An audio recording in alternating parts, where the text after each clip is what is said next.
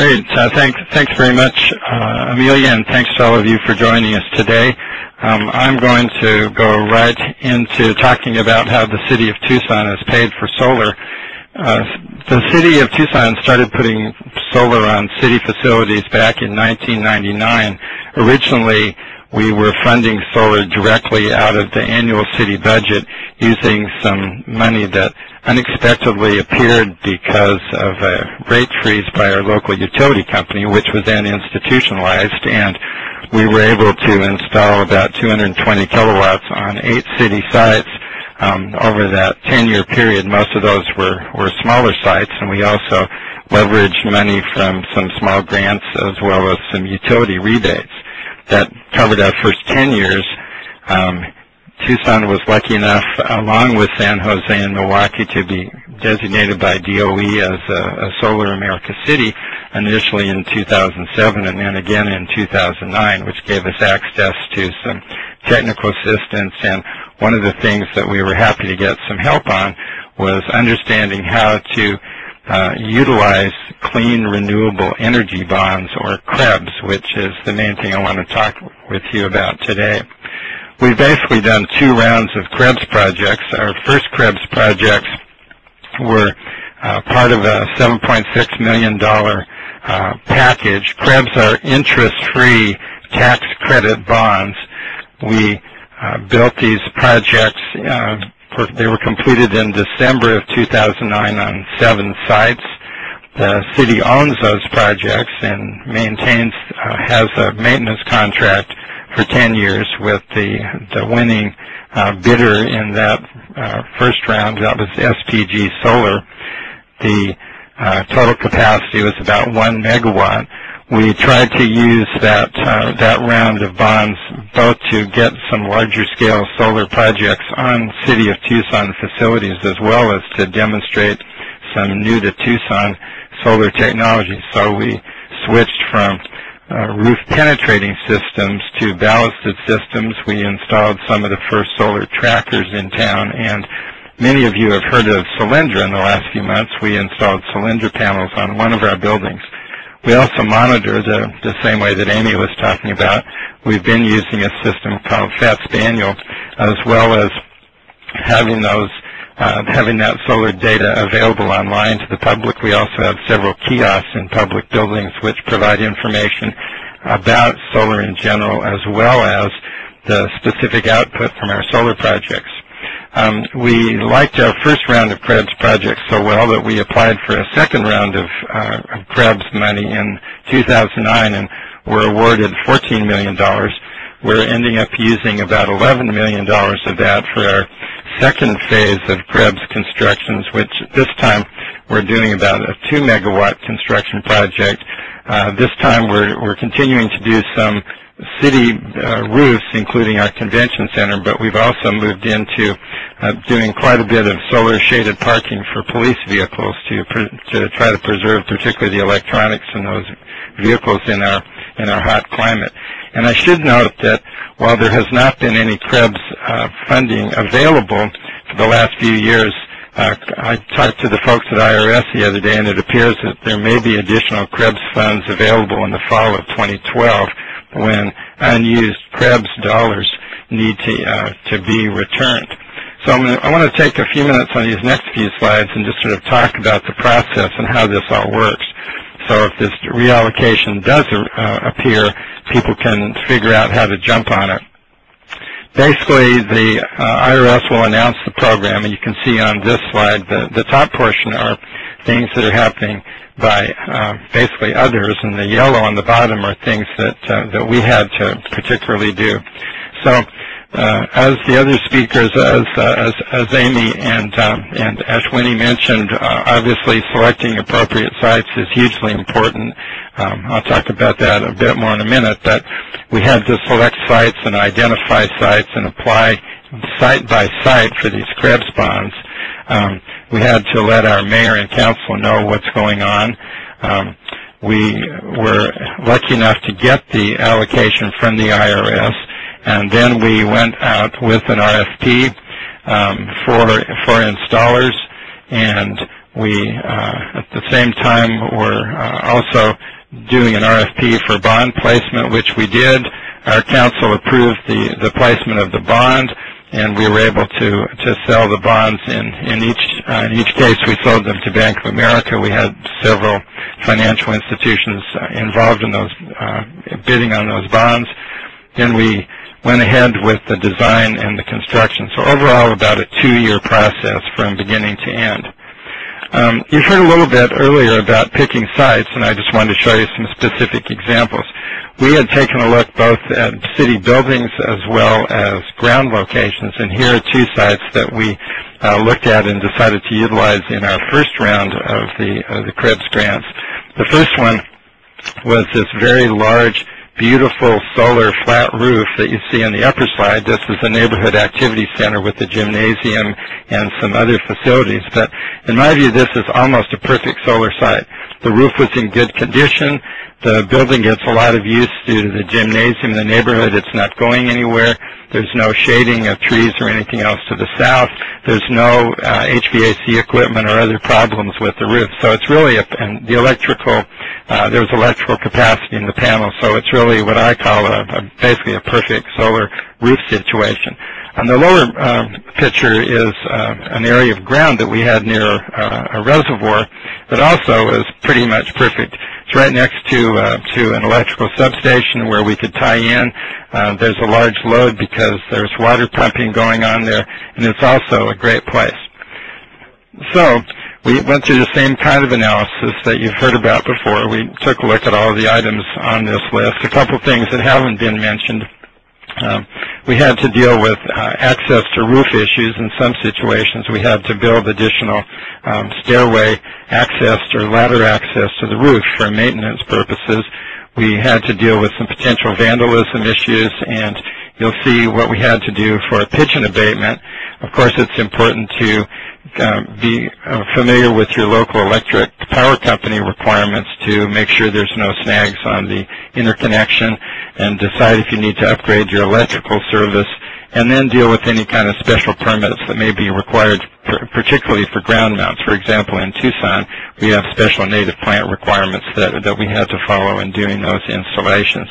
Um, and it's important to remember that in addition to the cost you're thinking about, of course, to hang on to some additional money for additional contingencies. Well, obviously the big question is anytime you're doing a bond, how do you pay it back? So the, the primary uh, issue that, that we had was our mayor and council said, well, all the solar stuff is great, but these big projects cost a substantial amount of money, and we're not going to put any uh, or very much general fund money into it. So what can you do? So basically what we did was created an internal, what we called an internal service fund, and since these solar projects have been installed, what we've done is we've charged the, the city department in each of these buildings for the electricity generated by the solar panels at the same rate that they would have paid for electricity from the utility company. And we sold the RECs, the renewable energy credits, to our local utility company. And the business case we presented was that uh, we were going to be cash positive in the first year and uh, we were able contractually to uh, to have guaranteed production, so we knew how much we were going to get out of it. So that, that excuse me, that ground site you were looking at next to the reservoir originally was a piece of ground, and now it looks like this. This is the uh, 220 kilowatt system on trackers that you can see here that we installed on that piece of open ground I showed you. And this is what we did with that big roof. You might note the chicken wire, which we had to put in to keep pigeons from roosting under the solar panels, but that, that beautiful roof is now 100% covered with solar panels. And here's the recently off-the-line Solyndra panels that were actually a successful project for us because we had a building that had very little structural integrity in the roof. We learned uh, from a structural engineer, but it was able to support these lightweight Solyndra panels, and they have been performing perfectly fine. You heard discussion earlier about PPA, Power Purchase Agreement. This slide basically compares the two. Um, essentially, using the CREBs model, we are the owners of the uh, of these solar projects. We're not simply purchasing power, although we have another project where we are using a PPA to uh, to provide solar energy to us. But the primary thing um, I think is who's responsible for operation and maintenance, and we solved that problem, we believe, by having a long-term O&M contract with our installer. This, uh, this graphic here really sort of summarizes what we think are the, the key pieces to having a, a, successful project, most of which I've uh, already talked about. And I think this is uh, a, a, the combination of all of these made the project a success. No, no one of them was the key thing, but without any of them, potentially we would have had problems. So the main lessons learned, similar to what you've heard earlier, uh, most important, planning for O&M, having a clear plan for, uh, for, for payback, timing the bond issuance to catch the market properly, and be sure to involve the residents of the building in your plans. I also wanted to take a few minutes and talk about some other ways that, that the city of Tucson has used to pay for solar because these CREBS uh, allocations only have come around twice, and we want to do solar other times. So the city of Tucson now has a requirement that all new city-funded buildings must meet 5% of their energy load through some sort of solar, which can be daylighting, solar water heating, or photovoltaics. This is a city garage that was built about five years ago, and on the, the right side you can see we've got a 60 kilowatt solar array on the top of that building. So you could include solar as a requirement for new buildings and just build it into your construction budget. We also have over 300 um, bus shelters and these are funded solely by the advertising on the bus shelters. An ad agency pays the city for the right to advertise, and uh, that covers the cost of installing and maintaining the solar, which covers the safety lights inside the shelter, and hopefully in the future we'll be able to also put up LED signs telling uh, the bus riders when the next bus is coming. The uh, one other way to, to generate some money, if you have some land, is we recently have uh, leased land on two very large sites for, for wholesale projects, solar farms, um, that are being done in connection with our local utility company, and there was some city land that was not being used that we've leased for these solar farms, and we're generating um, substantial amount of money as lease payments, which we're hoping we can turn around and use for additional solar projects. And finally, I'd be remiss if I if I didn't mention um, the, the fact that the uh, we just completed one project that was funded through a source that may not be very likely available in the future, but Representative Gabby Giffords, who many of you have heard about in the news the past few days, was successful in getting us funding for a congressionally directed project where funding um, through that con special congressional appropriation was used to, to build a project at a local library and police station. So we're always looking for different ways to, to fund solar, and we feel like we've used quite a few um, over the 12 years that we've been doing solar, and I'd be happy to answer any questions that any of you might have. And thank you for attending, and good luck on your projects. Let me turn it back over to Amelia for questions. Perfect. Thank you so much, Bruce. And I do want to uh, go ahead and jump right into questions. But first, first I just want to remind everybody, um, you do have two options to ask questions today. You can either go to the upper left-hand corner and click on Q&A and type your questions in, or if you'd like to come live over the phone line and ask a question, uh, you can go ahead and press star one on your touch-tone phone. Again, that's star one, and that'll put you into the queue, and then I'll let you know when your individual line is live. Um, so we're going to go ahead and start taking some questions. I'm going to hand it over to Grant from ICMA. Thanks, Amelia. And our first question. Do any of your cities require that city-constructed buildings achieve LEED certification? Uh, this is Bruce, so maybe I can start with that. Um, in Tucson, we require all city-funded buildings to meet LEED Silver, but frankly, we decided we were not satisfied with only meeting LEED Silver. So, it, because as you uh, undoubtedly know, you can obtain a LEED rating without doing much of any solar. So, particularly in Arizona, we want to, to make sure that we did get some solar on buildings. So we have a LEED silver requirement as well as our 5% solar question. Okay, great. And we have a question in the queue, so I'm going to bring this person live next. Uh, caller, go ahead. Your line is now live. A general question uh, about the how much the um, utilities were giving you for that wholesale power you say you were selling back to them.